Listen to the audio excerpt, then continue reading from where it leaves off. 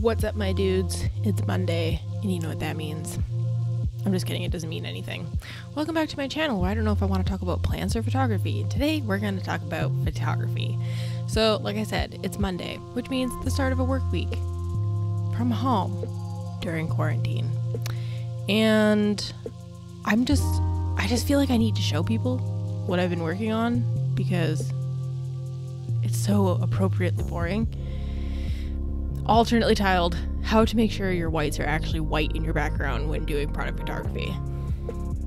Okay, so um, as most of you, hopefully most of you know, I work as an ecom photographer uh, as my day job. So now that quarantine is hit, I've been working from home, pretty much just editing photos all day. Um, some of are photos I have taken, some of them are photos other people have taken, and I'm editing them for them because I am really fast at it. Um, yeah, so here we go. I'm gonna go in and I'm gonna find some shoes. Let's see what we got here. I'm gonna find some like nice easy ones just to show you guys and then I'll find some hard ones too I guess maybe. So let's do these two.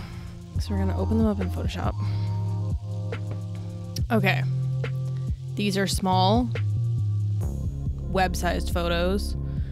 They're like maybe a thousand pixels on the long side. Okay? Okay. So as long as we got that, you know, in our brains, we can continue here.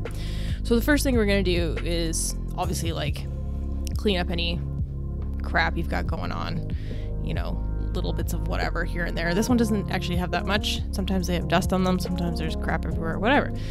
Um, next thing we're gonna do is do the background. This looks white, right? it's not. So I'm literally just gonna take a white brush. I'm gonna do default, press the D key uh, to get black and white colors, and then press X so that the white is in the foreground. And I am going to paint over it.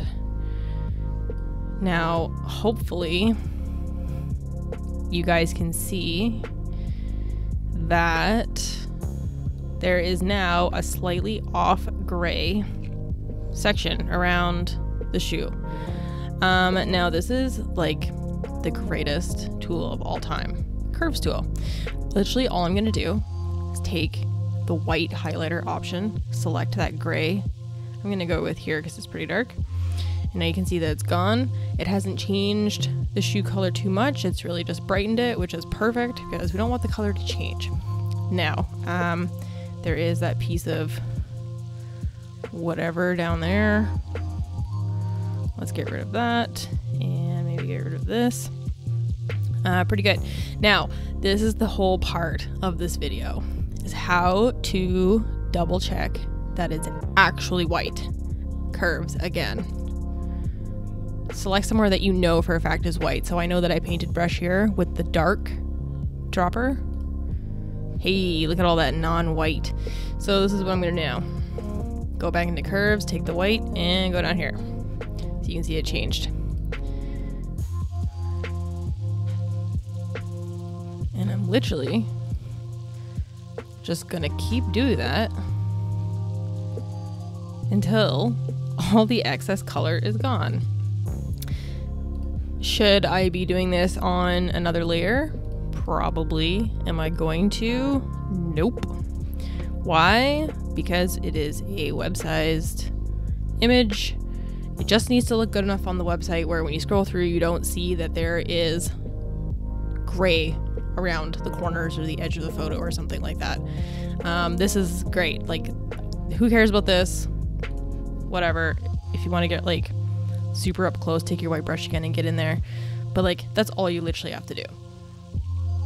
You could also you know, do the long way of, you know, selecting the whole image, either using the pen tool or using the cheap, cheapo, easy, fast way, like I just did with a quick selection tool. Um, and like, you know, you could go in and you could paint out all the background.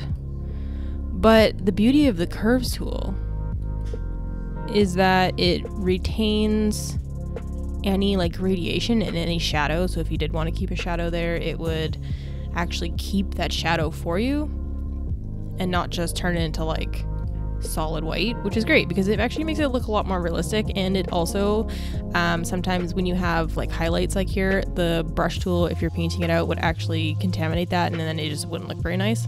So that's literally all I use is curves tool. Uh, just for fun, let's save and close that. Let's do this one just to show, show and prove how easy this actually is. This one looks so close to being actually white, but I know that it's not because they never are. Also, if you hear any background noise, my roommate's watching Sopranos. So, yeah. So yeah, like you can see there's tons of color here. So let's just go in. Hey, do you see that shift? Looks pretty good. Perfect. And just because I don't feel like doing this anymore, let's do that. Okay. Um, let's see. Let's do let's do another shoe. Let's do what do we got here? And yes, these are all shoes that I still need to do. Yay me. Ah, perfect. Here we go. Here's, I guess, what you can consider like a hard one. Let's go with uh, this one here.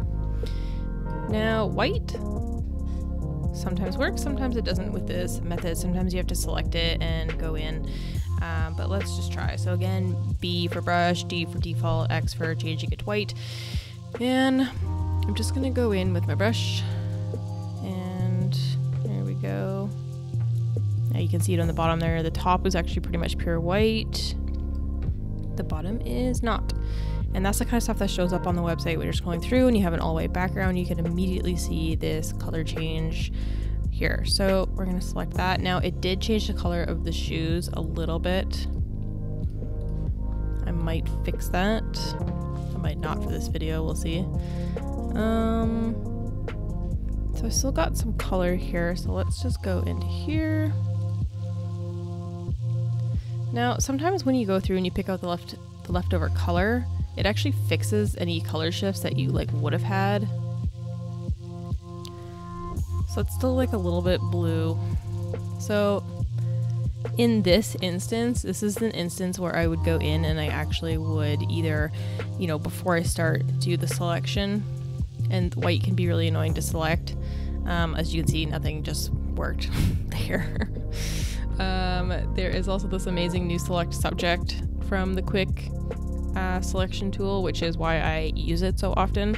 So now what I can do is, um, oops, let's do that instead. I can, if I wanted to, I'm just making a mess of this now because I'm trying to do it fast because I'm trying to make a video. Um, I can just take my brush tool. Sorry not my brush tool my history tool and I can just go through and like take out all the color that I did on the shoe. And it will only do the shoe um, alternatively, from the start of the image, I could have done the selection and then done the curves around it, and then it just wouldn't have, you know, changed the color of the shoe. I mean, it does look kind of like. It just looks like it's not right, anyways, but whatever. So, anyways, that's what I would do with a white one.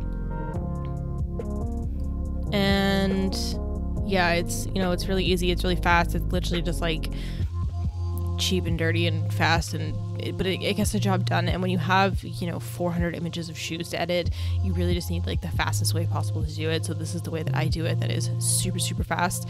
Just for fun let's do one more shoe. Let's do i don't know let's do this red one.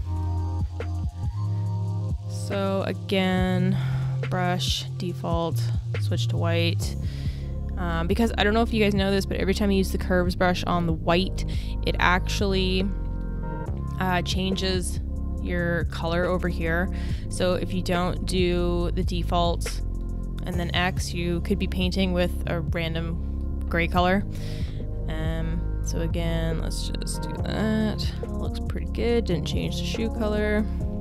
So there's still a lot of crap going on down here.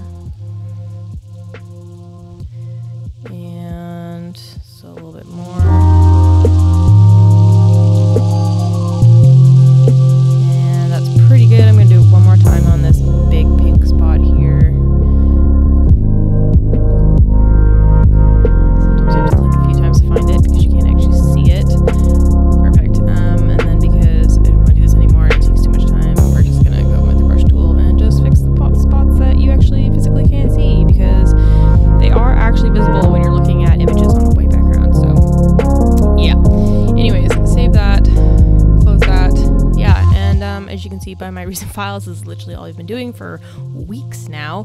Um, yeah. What else to say about this? Again, should I be using a background layer? Yeah, probably. Am I going to? No, it's that's too much time. Like I really just need this to be as fast as possible. So that's just not gonna happen. And uh yeah, that's it. Best ecom adjusting tool curves for sure. And yeah, that's kind of like all I got. So thanks for watching. Hope you enjoyed. Maybe next time will be a plant video. Maybe it'll be another photography one. I have no idea because I can't make up my mind. Welcome to my channel where I just do whatever I want basically. Which is fine with me. Anyways, I hope you guys have a good night. Thanks for watching. See you later. Bye.